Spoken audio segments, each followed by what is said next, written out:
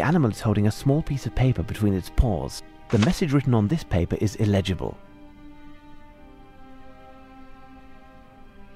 We are supposed to find six birds, and there is one missing. Two possibilities. Either one of the birds has flown and taken our hopes with it, or, despite our misfortune, there is still a chance that the last bird is completely diurnal and is perched somewhere awaiting the day. What shall we do, Holmes? Stay up, Watson, and wait. Wait for the dawn and the first signs of life from the bird.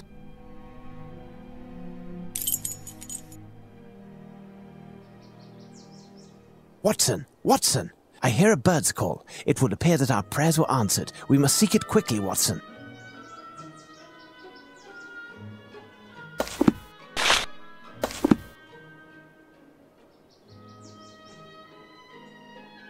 Incredible. Based on this bird book, it is a Lammergeier.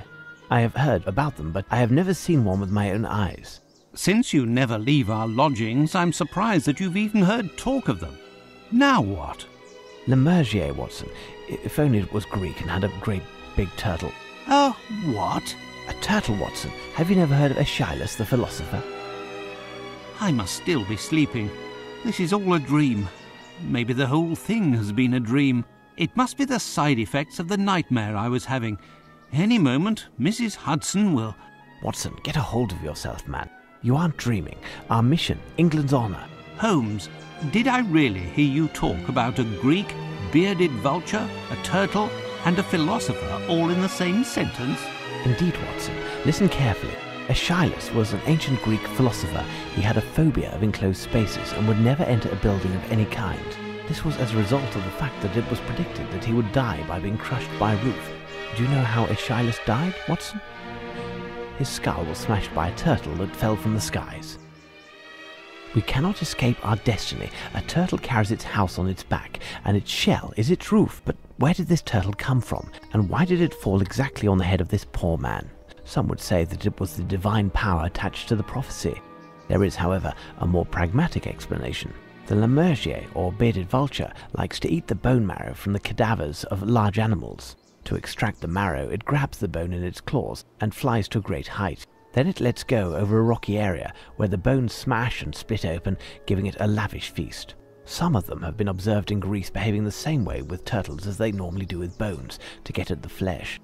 Aeschylus was of an advanced age at the time of his death, and his bald head would have reflected light like a smooth rock. Had he been under the shelter of a house, he would never have been hit with a turtle in the first place. I'll let you ponder the philosophical points of the matter, but coming back to our we'll need some bait and something with which to capture the beast.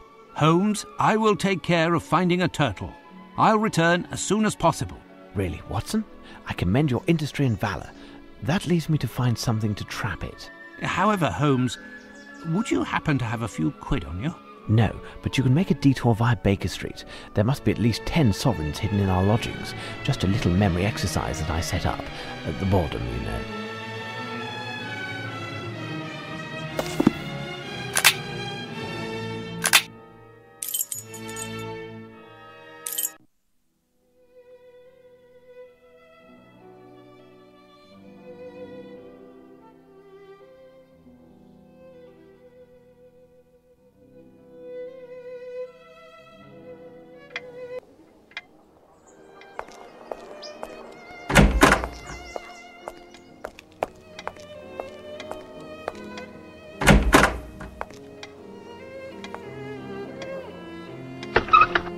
Strange place to stow money.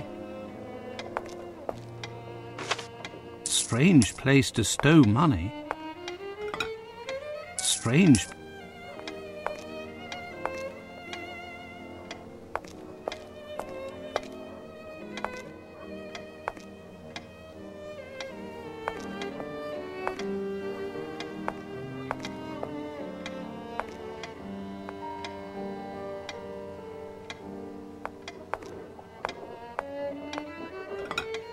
Sovereign. Perfect. Strange place to stow money. Ha ha! A sovereign. Elementary, my dear Holmes.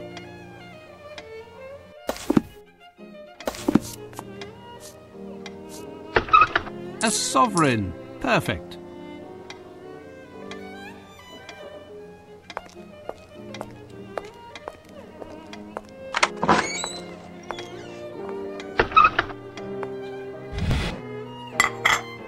Ha! A sovereign. Elementary, my dear Holmes.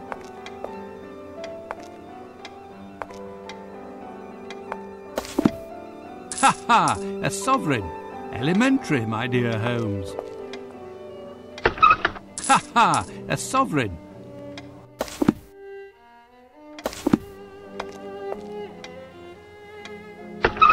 Strange place to stow money.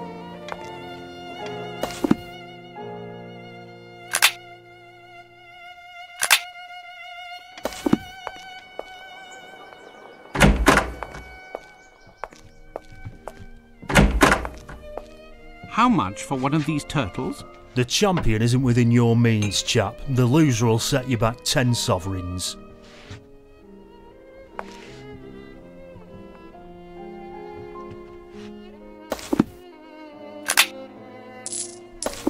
How much for one of these turtles? The champion isn't.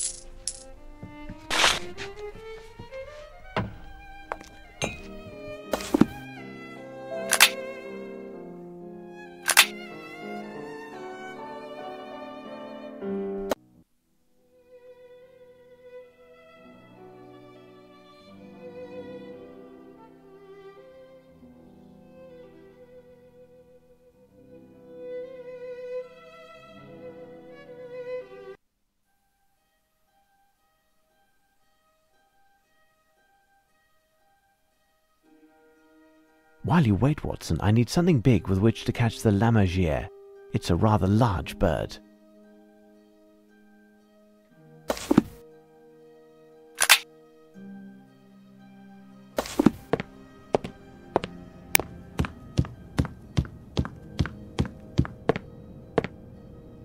This net would be perfect if it wasn't in such a pitiful state. I'll need some string to repair it. This string is perfect. I'll get to work while I await Watson.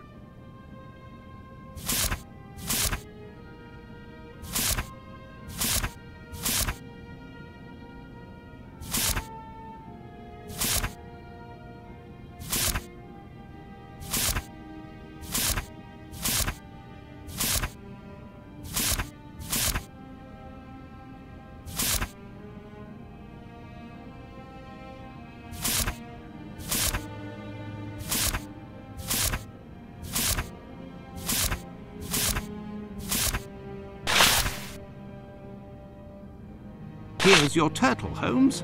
Watson, you impress me. This specimen will be ideal. I need to find somewhere to put it down, Watson.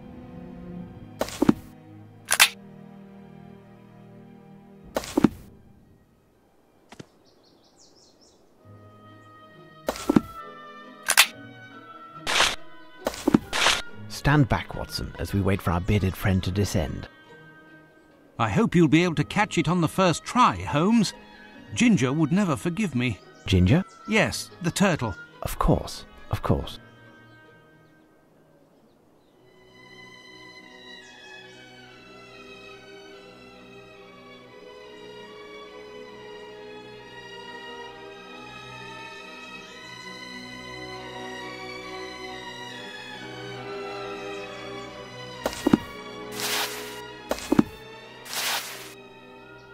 There's our starving friend, Watson, and the last paper. At last. I thought we'd never succeed. Now can we head back to our lodgings and sleep for part of the day? We have until this evening. We are heading back to Baker Street, Watson, but not to sleep. We have time for a meal, and then we must make haste to the next location that we will ascertain with the help of these messages. Uh, but I'm done for, Holmes. As Aeschylus said, I think the slain care little if they sleep or rise again. Come, Watson, make haste.